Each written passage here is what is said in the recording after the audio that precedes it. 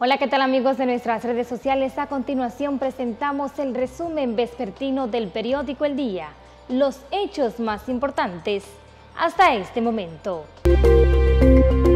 15 policías implicados en tumbe de 400 kilos de coca en Barahona. Salud Pública dice que en el país no hay brotes de la influenza. Sammy Sosa llega a Procuraduría para ser interrogado por caso Pulpo. En las globales, visitantes a Estados Unidos con certificados de COVID-19 falsificados les cancelarán visas. En espectáculos, GCDG paga casi un millón de dólares para resolver demanda por lentitud de envío a clientes.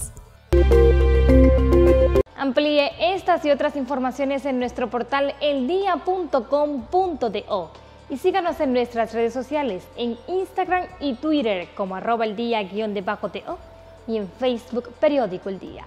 Estuvo con ustedes Catherine Espino. Gracias por preferirnos. Recuerden que somos Periódico El Día. Cada día mejor.